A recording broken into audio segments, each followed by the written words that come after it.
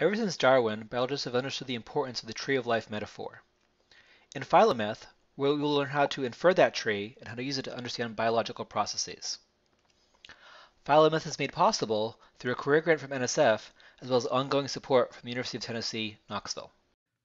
Phylogenies are essential for a lot of what we do. Um, and there's, of course, many ways to build your own. We'll talk about those later in the semester. But you can also use someone else's.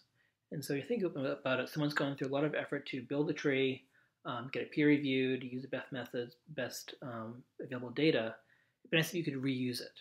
And so most papers actually don't have trees anywhere usable, um, but some do. And so over 20 years ago, Sanderson et, al., Sanderson et al. created this database called Treebase to store published trees.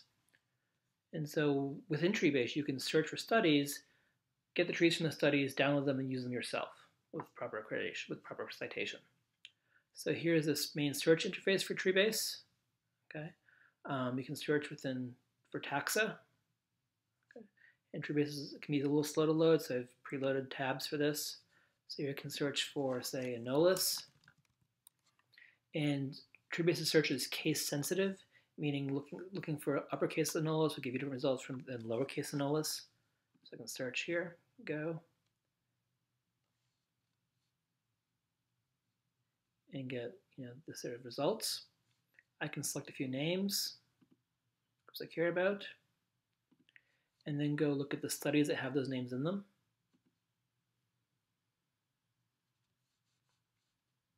Here's a pre-made set of those studies. Okay, and so I can look down and then read the title, read the authors, read when it was published and what journal was in, to help me figure out which studies might be useful for me. Right, so this study could be useful. This study could be useful. Um, in this study on mammal diversification, could be a good study, probably not a good study for Anolis, right? So let's pull up this study. So Townsend et al., 2011, has lots of genes, could be good. Um, and of course, what you should do at this point is go and read the study, right? So here you have the full citation. You can look it up, read the article, see if it's made in a way, see if the tree was made in a way that you believe in. Um, you think about adding stuff to that tree. Um, if it's a really tree you think is good enough, we can then download it. Right? So from this, we can go um, to the trees for this.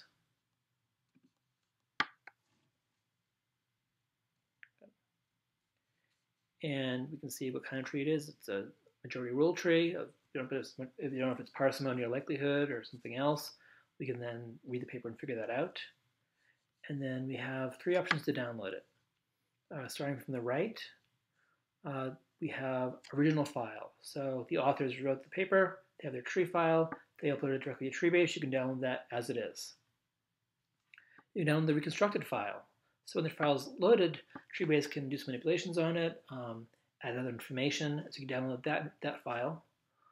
Or you can download this file in XML format. So this is an XML format used for storing trees. It's not very popular right now, but it might get more popular in the future. So for right now, let's download the reconstructed file. So we click on that, it downloads. Okay. And then we can go to, you know, find or whatever and open that. Here's the file. And we see it has, you know, name, .nex, and .txt. Um, it actually should be .nex, so we can change the file name. I'll change to .nex. Yes. We can open that in various programs. So I could open that, for example, in a text editor, like Atom. And here we see the actual file contents, right? So on the right, we see the overall structure of the file, and here you can see the interval lines. So it's a nexus file, so it starts with number sign nexus. Comments in brackets are typically ignored with a few exceptions. So this tells us information when we download the file, what version of Treebase it came from, importantly the reference. And so when you use a tree from Treebase, you should always cite the authors as well as citing Treebase. So this both gives credit and also lets readers of your paper go back and check to see how the tree was actually made. Okay. Then Nexus files have a series of blocks. So begin something, so begin taxa, begin Mr. Bayes, begin trees. And so we have a taxa block, it tells us how many taxa we have, what their names are and that block ends. We have a block that has the trees, and the trees have are stored in Newick format. Talk about what that means a little bit. Um, and so you have the tree, the tree name, whether it's rooted or not. So here it's rooted. And then this tree format, in this case, includes um, uh, branch lengths. Okay, and that block ends. So we could open that file in something like Mesquite. Open. Mesquite also set of taxa and then can show us the trees.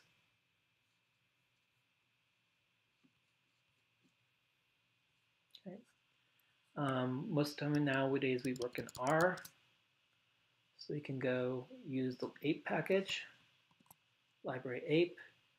We can, if we forget where the, what the tree's name is, we can call this command and just look inside that folder. Oh, it's called that. Okay, copy that. I can then load the trees in the read nexus function. So read nexus, the path to the tree, so where the tree is stored in our computer. So our home folder, then in my case downloads, and then the tree file name. And it didn't throw any errors, we can type phi and get a summary of that. So it has 76 tips, 74 internal nodes, has no labels, but has branch lengths. And then you can just plot that tree. This is a tree with names. And of course, then we can finesse it and make the names smaller or hide the names or things like that. So that's the essentials of getting a tree from Treebase. Um, what you might want to do is go back and look at various studies we have and look at other studies, see if they have more taxa, see if they look like they're a more reliable study for your question.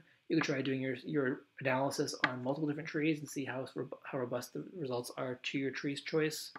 Okay, um, but it's just a way of getting trees.